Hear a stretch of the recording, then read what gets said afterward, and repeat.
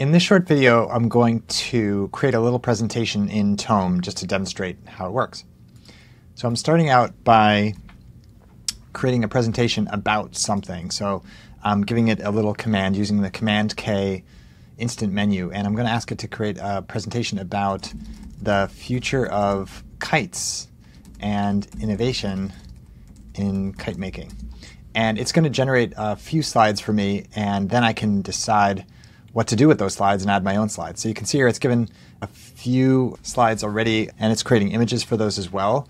And it creates eight slides to get you going. It gives you a title. You can edit any of this, right? So I can change this, I can reformat it if I want to.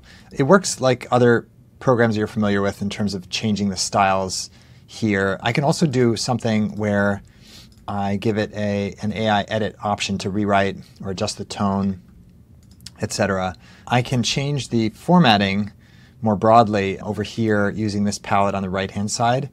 I can also use this right hand side menu to change the overall theme from let's say a dark theme to a light theme or an ocean theme or in this case, cream theme or whatever I want. Neptune is one of them, and a couple of other options.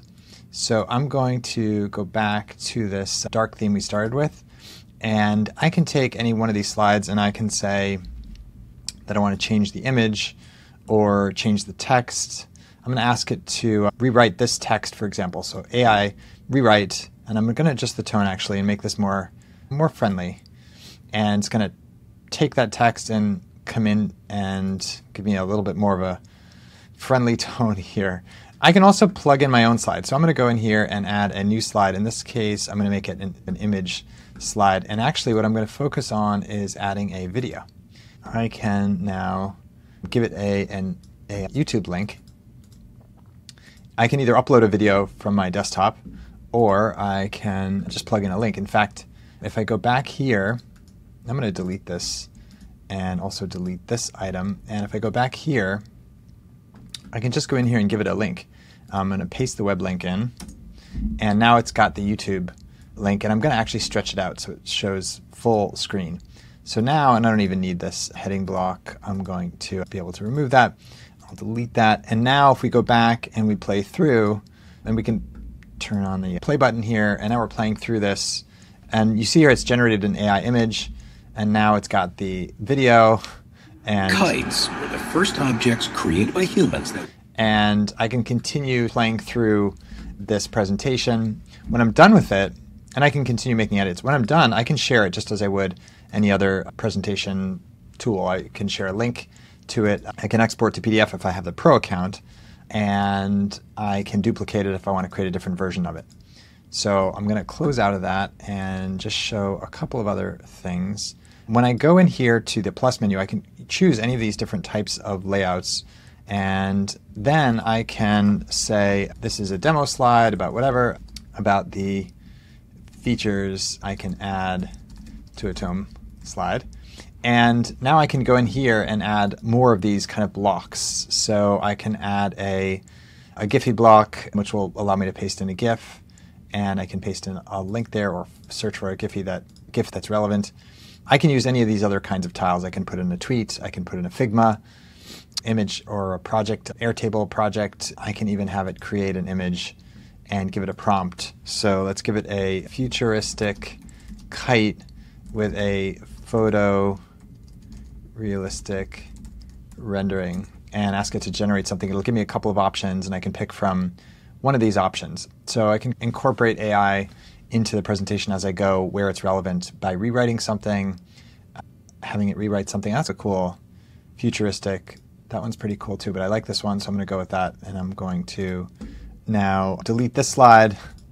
And so I can use it in a kind of interesting way. I can also just drop in a, an additional element and then move this element around. If I want to move this table down below this image, I can have a table below here with various different types of information about kites, for example, and I can change the arrangement of this table. And then below that, I could put something else. I could put yet another element below that. So you're not limited by the normal canvas of a presentation tool like PowerPoint or Google Slides. You can create these long pages with a bunch of different kinds of material. Tome is a nice new alternative to to uh, to Google Slides and to PowerPoint. And again, if we pick this Command K menu open again, we can do all this just from the keyboard. We can create a new presentation. We can rename the tome. We can copy a link to the tome to send to somebody. We can record a narration so that there's a video associated with each slide. We can change the theme, and then we can add all these elements. There are some limitations. It doesn't yet allow me to upload images from Unsplash and other kinds of image sources for Creative Commons images. And I find the text too small for my taste on slides like this. I'd rather have less text and larger image, a more prominent imagery relative to the size of the text.